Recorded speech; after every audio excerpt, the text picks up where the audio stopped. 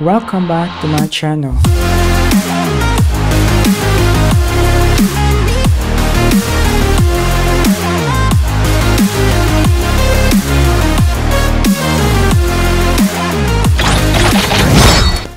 Hello các bạn. Như các bạn đã biết thì tối hôm qua, bên mệnh Arena đã đăng thông tin trên rất nhiều nền tảng về cái vấn đề chỉnh sửa, tăng giảm sức mạnh của một số loại vũ khí. Tối hôm qua thì rất nhiều bạn vào bình luận trên video kênh của mình rằng là à, à đấy game nó đang ờ, chuẩn bị thay đổi như vậy đấy thì mình đã biết chưa và rất muốn mình làm video về cái vấn đề này. Nên là mình bắt buộc phải làm thôi. Thật ra về cái thông tin này mình biết từ cái đợt uh, trong Tết rồi, trước Tết mình biết rồi. Nhưng mà mình được yêu cầu là uh, giữ im lặng. Vậy là họ đã quyết định đưa ra cái này công khai đến tất cả người chơi.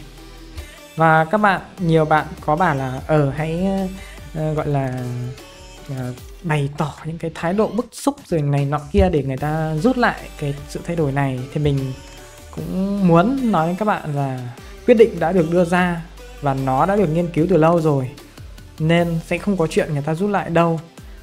Như thế nào thì hãy cứ trải nghiệm cái đã các bạn nha điển hình chúng ta có thể nói như kiểu là Azure này Azure đã được thay đổi. Sau quãng thời gian mà người ta uh, nghiên cứu cái uh, thị hiếu của người người chơi ấy mấy cả shirt cũng thế đấy người ta đã thay đổi rất là tích cực. Nên cái gì thế thôi các bạn cứ bình tĩnh trải nghiệm cái đã. Rồi chúng ta hãy đưa ra cái ý kiến nếu mà nó thực sự quá là tệ nhá video này nó sẽ mang cái thiên hướng là, là giới thiệu thông tin này cũng như nêu cái cảm nhận của mình về những cái thông tin này. Bởi vậy có lẽ nó sẽ khá là dài các bạn nhé nên ngày hôm nay mình sẽ đăng một video này thôi để các bạn sẽ có thời gian để các bạn uh, ngẫm về những cái thông tin này một cách kỹ hơn. Cũng như là à, suy nghĩ thêm cảm nhận thêm về cái quan điểm cá nhân của mình về những cái thông tin thay đổi này nhé à, rồi thì cái đầu tiên cái đầu tiên mà các bạn sẽ à, hai cái nạn nhân xấu số nhất trong cái đợt này là hai cái quốc dân.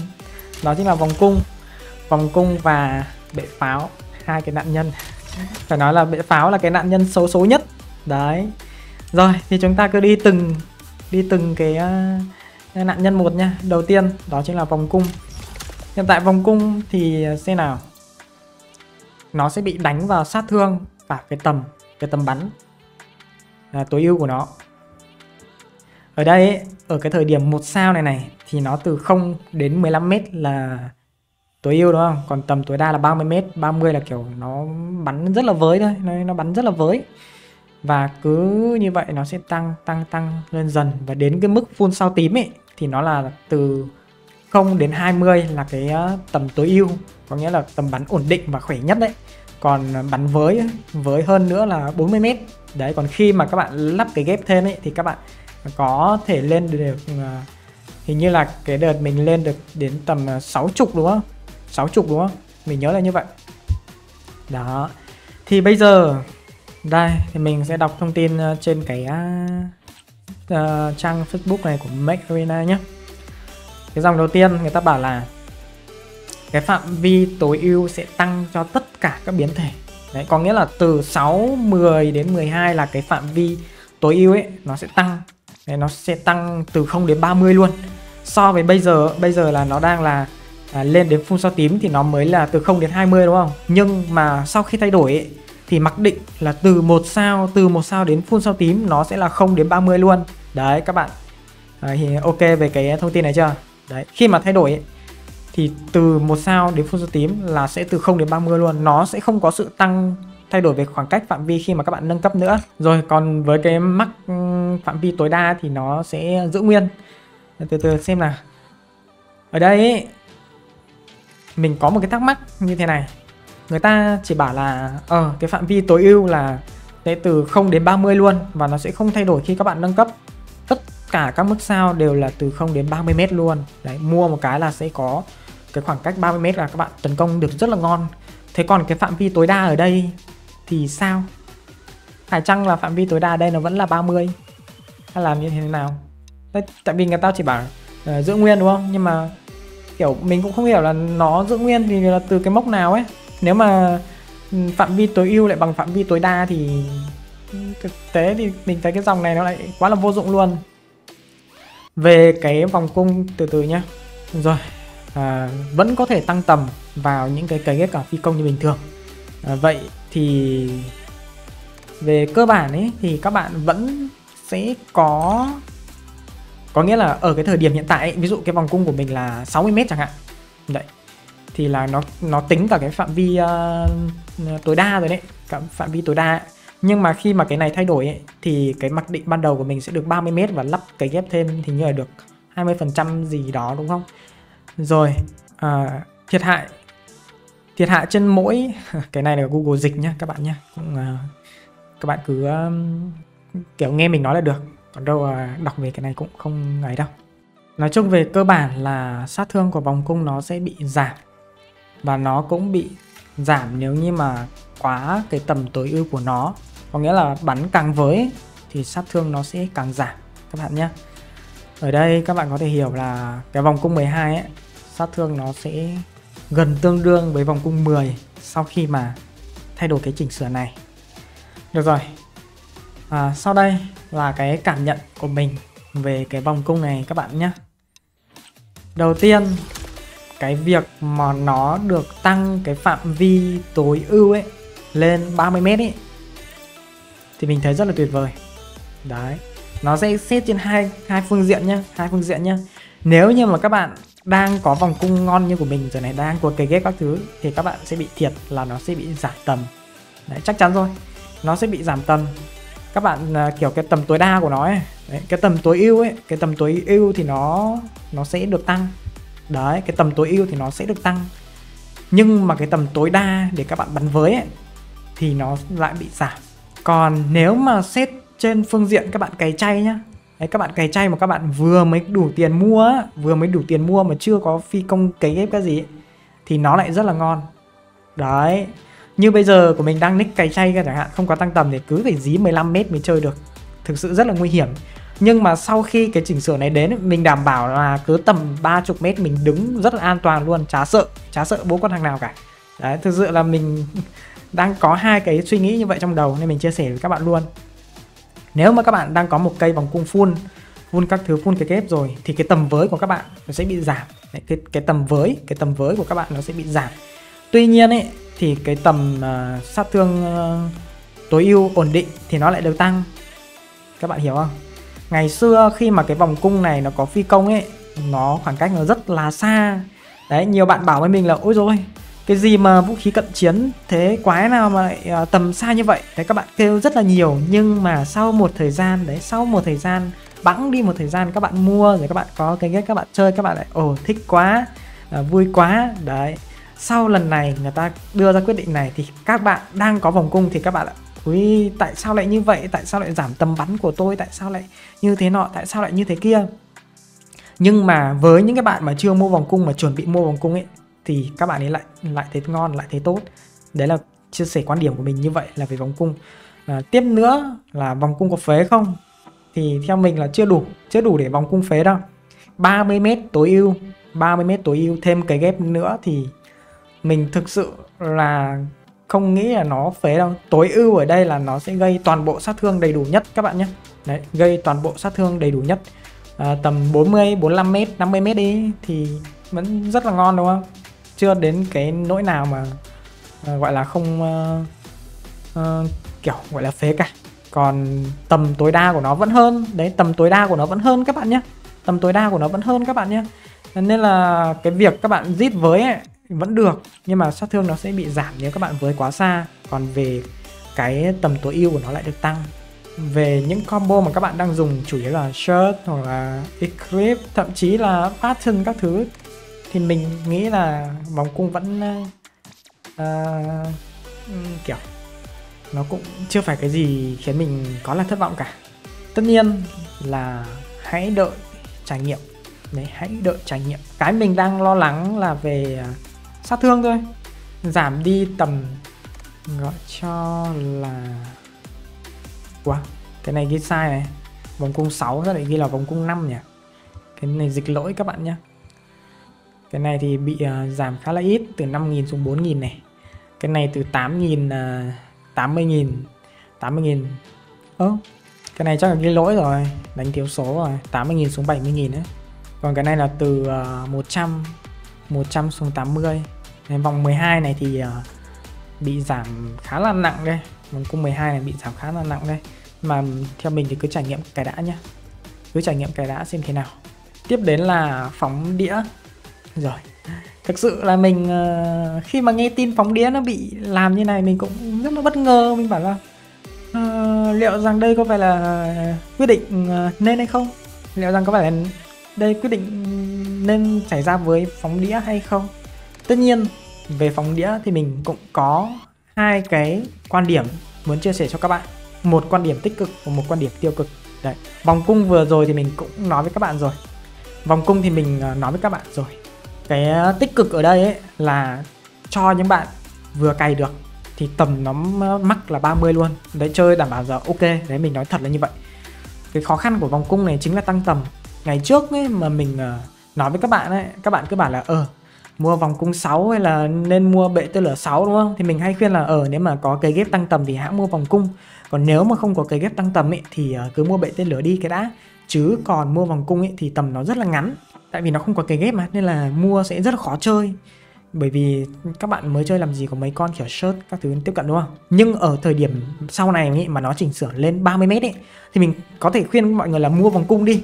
Đấy cứ mua vòng cung đầu tiên đi chứ đừng có mua bệ tên lửa vì rít rất là khỏe 30 mét. 30 mét các bạn nói thật chưa có cái ghép gì mà 30 mét thì chạy ối rồi luôn còn chạy mệt. Đấy chạy mệt. Mệt đấy chứ không phải là phế đâu. Đấy là cái quan điểm của mình về vòng cung nha à, rồi bệ pháo. Đây bệ pháo của chúng ta đã bị à, gọi là nép về những cái thông tin sau. Đầu tiên chắc chắn là về à, cái à, phạm vi nổ là cái à, nổi bật nhất của cái khẩu bệ pháo này. Cái máy phóng đĩa máy phóng đĩa này. Thiệt hại ngoài phạm vi tối ưu sẽ giảm rồi chúng ta sẽ nói về cái câu này. Thiệt hại ngoài phạm vi tối ưu sẽ giảm. Ở đây cái phạm vi tối ưu của nó là 60m Đấy, có nghĩa là từ tầm 60m trở lại thì các bạn bắn nó rất là bình thường đúng không? Còn cái tầm tối đa của nó là 120m Đấy, thì kiểu các bạn khẩu này các bạn sẽ bắn càng xa thì nó đang có hiện tượng là nó sẽ bay bay liệng liệng đúng không? Nếu mà xa mục tiêu quá. Nên là tầm 120m ấy, 120m gọi là đến tầm 100 mét đi. Những cái pha gọi là cấu rỉa đứng từ phía bản đồ bên này. Đấy đến tận gần như kiểu cái góc bản đồ bên kia. Có những bản đồ nó nó khá là hẹp đúng không? Thì những cái pha cấu rỉa như vậy ấy, thì nó sẽ không còn quá là ghê gớm nữa. Đấy không còn quá là ghê gớm nữa. Đây chúng ta đang nói về cái câu đầu tiên nhé là thiệt hại phạm vi tối ưu.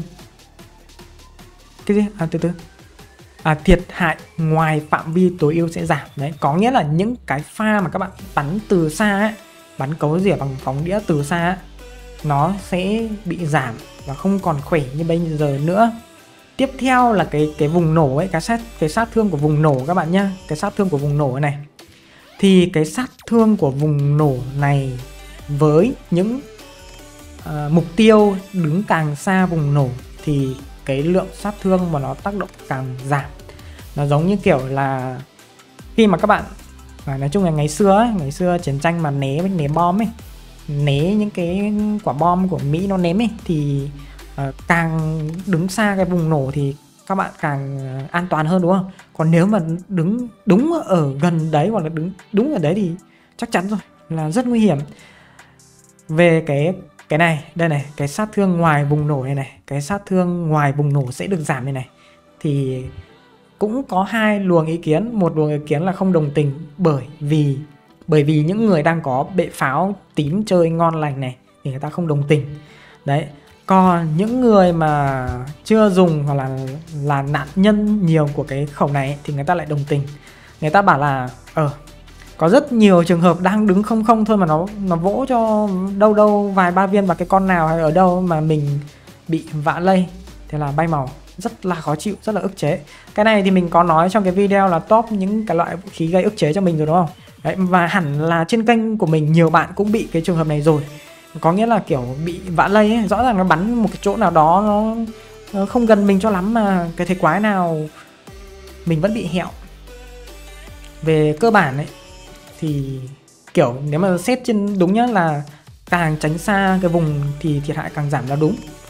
Còn nếu mà càng đứng gần ấy thì thiệt hại nó lại càng tăng thì là đúng. Nhưng mà uh, do là đơn giản là um, kiểu từ đầu các bạn trải nghiệm là đã như vậy rồi nên là thay đổi này nó sẽ khiến các bạn cảm thấy khó chịu. Nếu như các bạn đã và đang có biện pháp rất là ngon rồi. Lại một lần nữa thì hai quan điểm là như vậy. Một quan điểm là các bạn đã có bệ pháo rồi và cái này nó tác động đến vùng nổ của các bạn các bạn không thích. Cái thứ hai là đối với những cái bạn mà kiểu đã thành nạn nhân rất là nhiều của bệ pháo ấy thì người ta lại thấy vui. Bởi vì cái điều này sẽ khiến tất nhiên là người ta vẫn nhận sát thương các bạn nhé vẫn nhận sát thương nhé chưa phải không có. Mà là sẽ khiến người ta ít cái cơ hội bị uh, gọi là sao nhỉ bay màu trong tích tắc. Đấy một vài viên nó đập đập thôi là gần như là không kịp chạy. Không kịp chạy không kịp chạy luôn và những con kiểu à, eclipse các thứ thì sẽ có cơ hội sống sót cao hơn khi mà gặp phải bệ pháo. Tiếp theo là cái sát thương nổ theo vùng này này, cái sát thương nổ theo phạm vi này này. Thì nó sẽ không được tăng, nó sẽ không được tăng khi mà vào những cái vị trí sau lưng hoặc bên mạn sườn. Đấy, sau lưng và bên mạn sườn. Cái này thì có nhiều ờ, bạn mình tin là vẫn ờ, không hiểu. Thực tế là trong trong nhóm của mình thì vẫn có những bạn không hiểu trong khi kiểu câu từ nó rất là rõ ràng như này như này rồi. Ở đây ấy, thì mình nói như này nhá. Ví dụ các bạn đang đứng ở một bức tường. Đang đứng ở gần bức tường nhá. Sau lưng các bạn là bức tường. Đấy sau lưng các bạn bức tường. Mà có một cái thằng nó lia bệ pháo lên cái bức tường đó nó bắn ấy. Thì như thường lệ các bạn sẽ bị nổ sát thương tầm hai viên thôi. Tầm hai viên thôi là các bạn đủ để hẹo rồi. Sát thương nổ rất là lớn.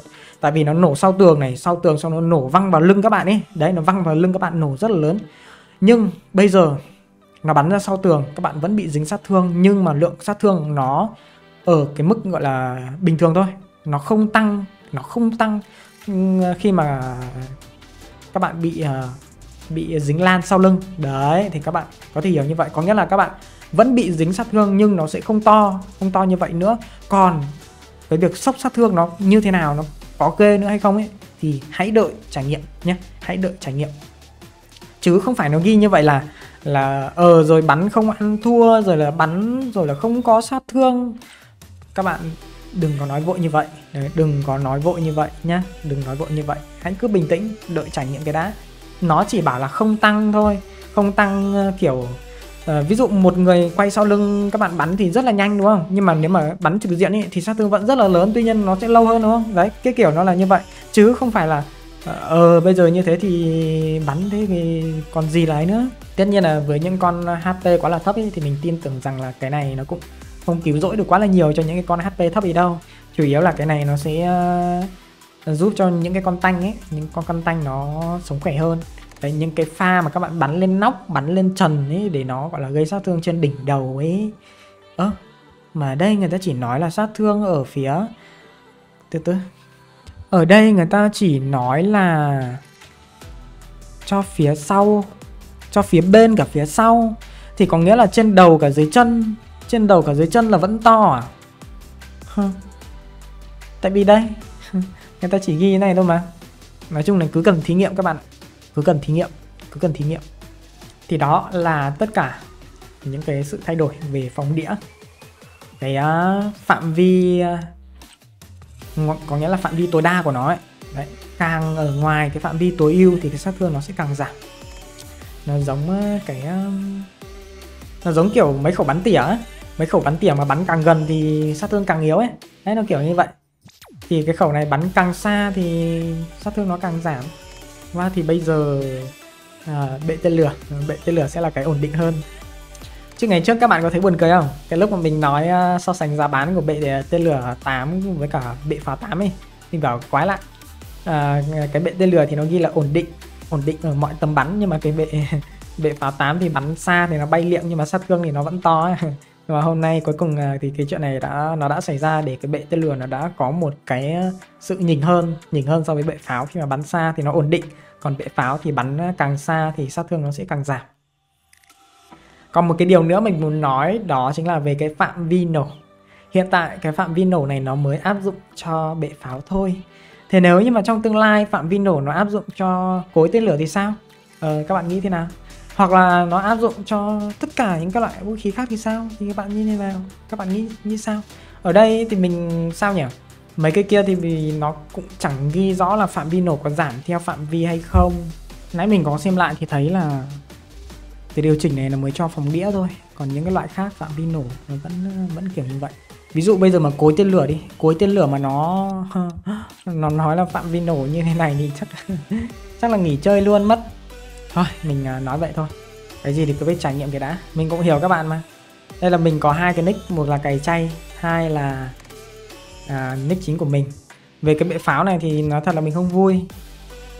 Nói thật sự là như vậy là mình không vui về cái thay đổi này của bệ pháo. Tuy nhiên vẫn phải nhắc lại là hãy cứ đợi trải nghiệm cái đá các bạn nhé.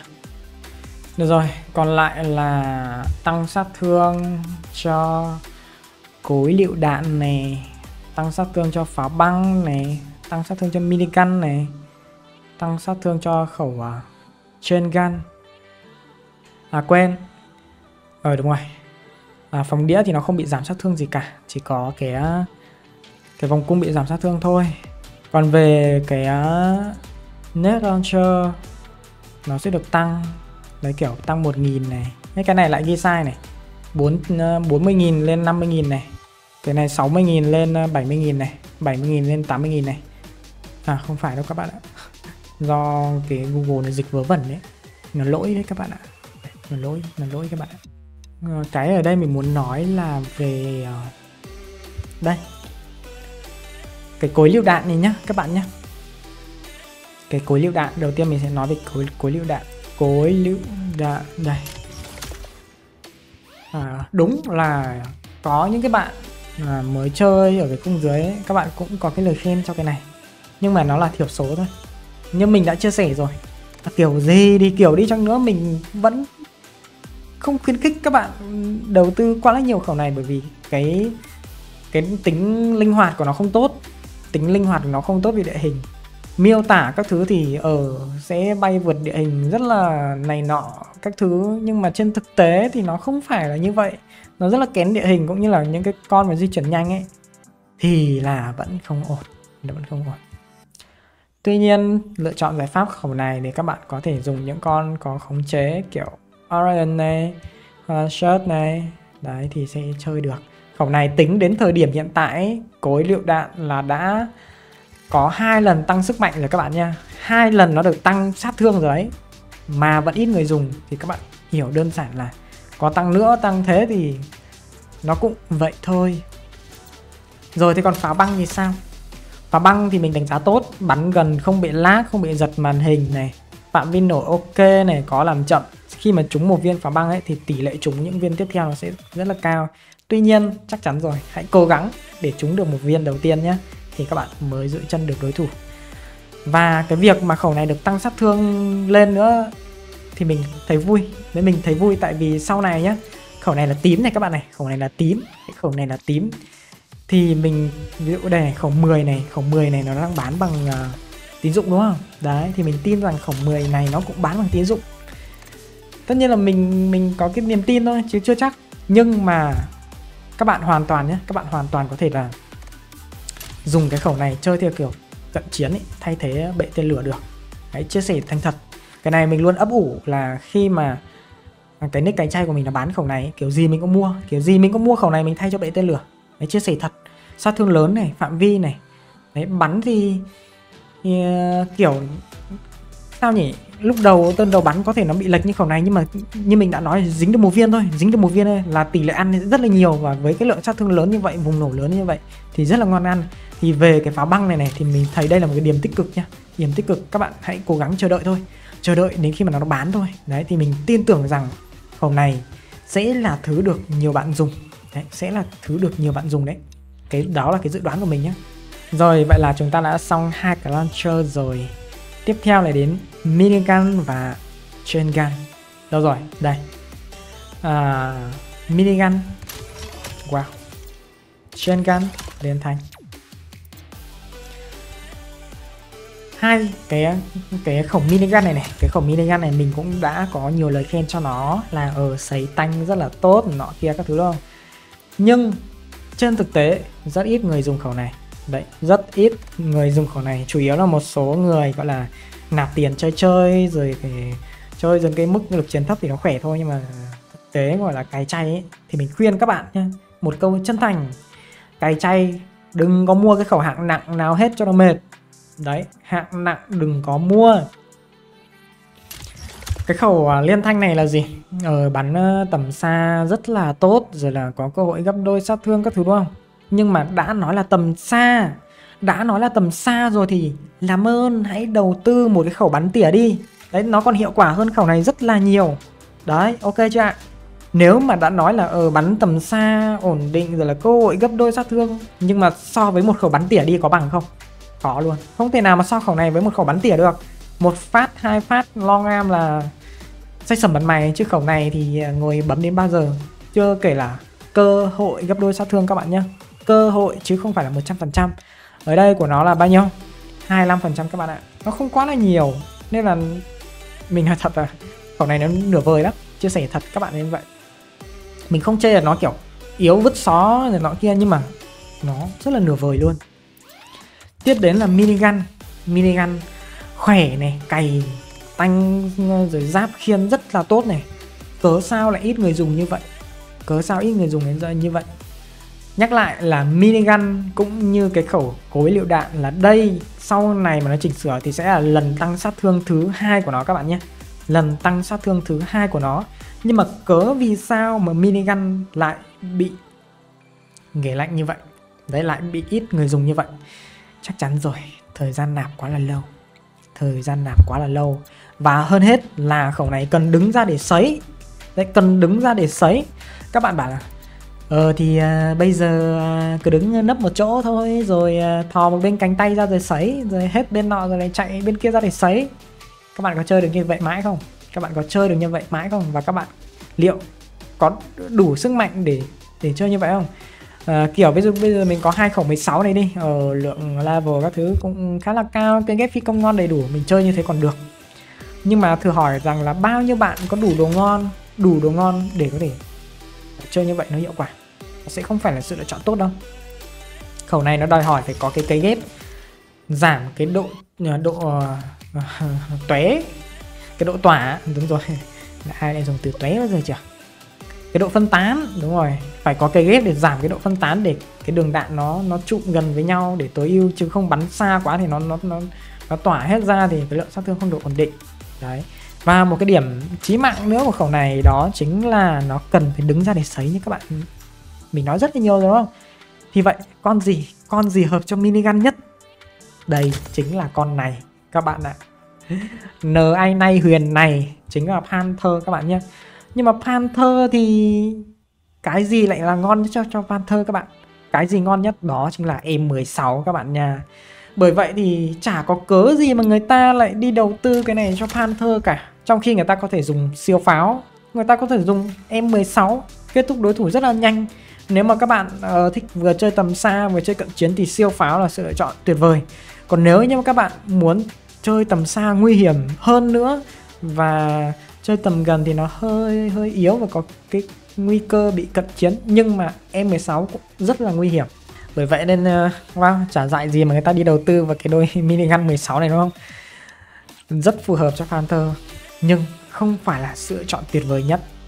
Ngờ thì các bạn bảo là bắn từng bên một thì các bạn sẽ có luôn có hai bên để các bạn xả đạn. Nhưng mà nếu mà lỡ như trong cái trường hợp mà các bạn không giữ được cái quan điểm đó của các bạn mà các bạn xả hết hai bên thì nói thật các bạn là một con shirt là lao vào thì thôi thì các bạn đứng đấy mà lạnh nó chứ không làm gì nữa đúng không? Bởi vậy không được.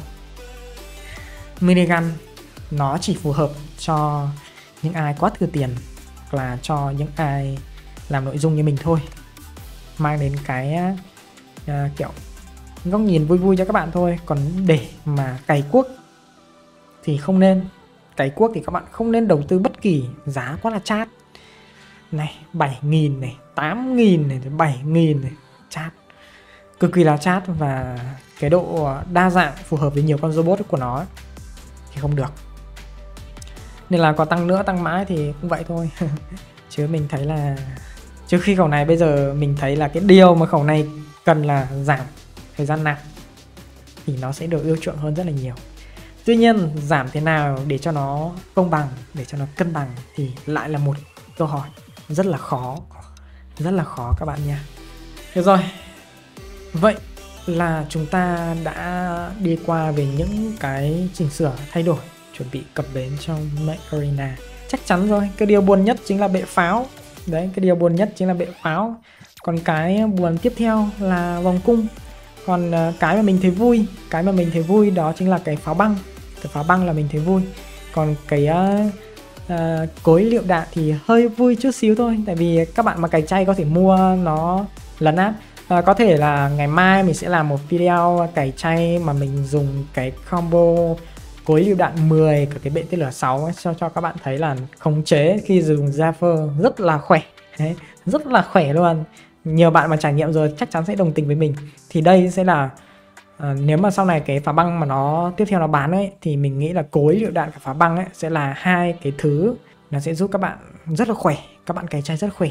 Mà nếu như mà cái đây này Đấy, nếu như mà cái cối lựu đạn 10 này nó bán bằng tín dụng rồi nhá Mà cái pháo băng 10 này nó bán bằng tín dụng ấy Thì uh, nói với mọi người ấy, mà các bạn mua được cái đôi này ấy Đấy, cả hai đều là 10 mà Đấy mà lắp được mà. Ui rồi, ôi nói với các bạn thì Thôi rồi luôn.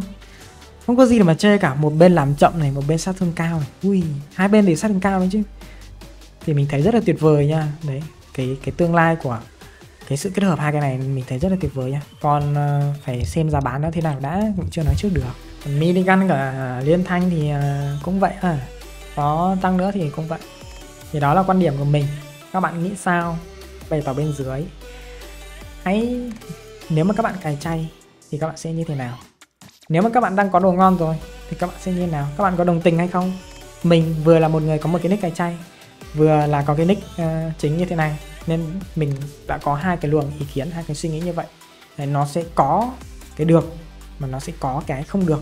Chứ không phải là hoàn toàn hoàn toàn là không được. Đấy khi mà kẻ đi săn bị giảm đi cái độ sắc bén của móng vuốt thì con mồi sẽ là thứ cảm thấy an toàn và vui vẻ hơn và ngược lại khi mà con mồi bỗng nhiên lại có thêm sự phản kháng thì kẻ đi săn đôi khi lại trở thành thứ bị săn đuổi. Các bạn có hiểu ý mình nói không nhỉ? Rồi hãy cứ bình luận trên phương diện à, xây dựng tích cực nhé đừng quá là phẫn nộ hãy đợi trải nghiệm kẻ đã. Mình tin tưởng rằng nó sẽ không quá là thất vọng cũng như là nếu mà nó có thất vọng đi chăng nữa thì sẽ thay được sẽ thay đổi được nên các bạn yên tâm và hãy nhớ đăng ký kênh và like video ủng hộ mình nếu như nội nếu như thấy nội dung này hữu ích nhé hẹn gặp lại các bạn vào những video tiếp theo. Bye bye.